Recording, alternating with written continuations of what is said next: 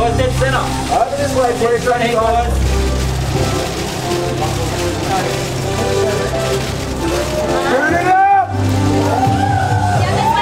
Up! More up! Hi guys, Ross Purdy from AAP. Uh, this is a question for Billy, Dave, and Steve. Stone Festival, the ethos of Stone Festival is about mateship and friendship. I just wondered if you three guys are friends and if you could kind of explain what your relationship is like. Well, we loved Van Halen in the beginning, but they got so big so fast that we offset each other on tour and we never saw them. I mean, uh, David, and then and Billy is is my idol because he's been around forever, and every time I turn the radio on, I hear him. So I'm, uh, you know, I'm an old fan of, of people that, of bands that write their own music, uh, you know, for better or worse, whether we got a hit or not, whoever knows. Every once in a while, people hit on it, and they've been very successful in their career. And we've been just following them ever since, and I'm honored to meet them backstage. Haven't seen them in forever, but every time I look into their eyes, it's such a camaraderie that it knocks me over. So I love these guys. It's an interesting question. It's perhaps more articulate than uh, some might think. I must have watched your show when you closed the stadium no less than a dozen times. And I always refer to what Billy Joel is doing on stage with his musical dynamic and the arranging and so forth that he's been doing in terms of look how many folks he's working with. Listen to the loud and soft, listen to the fast and slow. It's just doing that in rehearsal.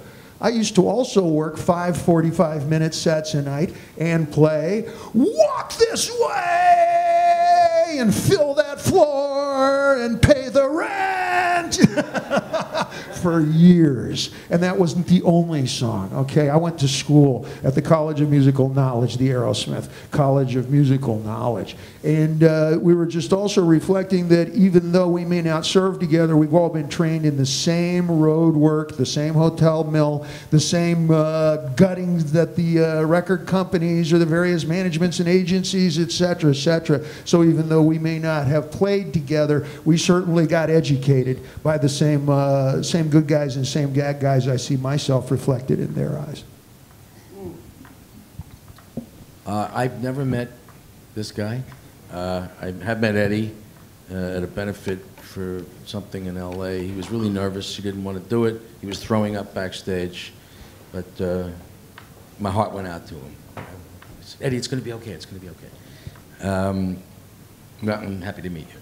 My pleasure. And uh, I tried to do the, the thing and jump where you, you, I split my pants.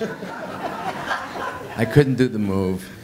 The guys in Aerosmith, we've run into each other often. We're from the same neck of the woods, Boston and New York, and uh, met them many, many times, and uh, uh, we're good, good friends. Steve, uh, anything that you'd like to be able to do now that you, you can't do anymore? Is it? Get high. Yeah. and listen to records. Yeah, and listen to records like we used to do. Um, I don't know. I can't do anymore. That's the beauty of today. It's like there's, other than that, we're just about doing it like we used to. I'm really proud of it. What's it like when fans come up to you in the street or see you around? Is it different to how it was years ago?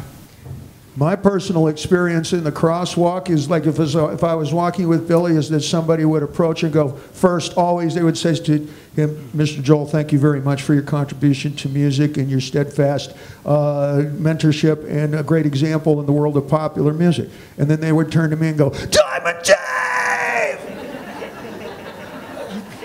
Steven, you've made some references to your past drug days. Are the days of drugs and groupies completely behind you, David?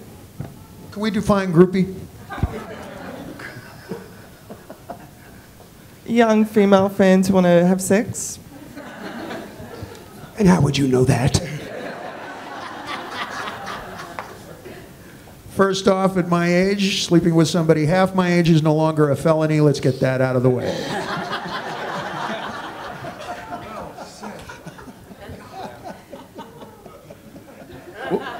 Well, I think that wraps it up perfectly.